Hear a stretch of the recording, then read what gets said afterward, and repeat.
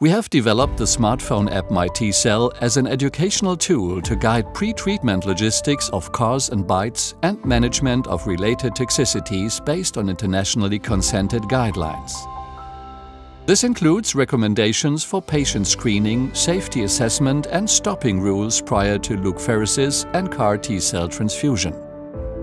MyTcell provides powerful interactive grading tools for CRS, ICANS and HLH. Clinical signs and symptoms are entered directly into the app and prompt real-time grading and management of toxicities.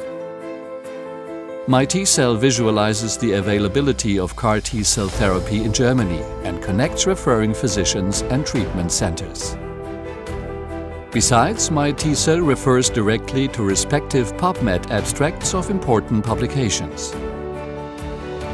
MyTcell shall increase guideline adherence and enable safer and broader application of CAR T-cells and BiTEs to ultimately improve patient outcomes.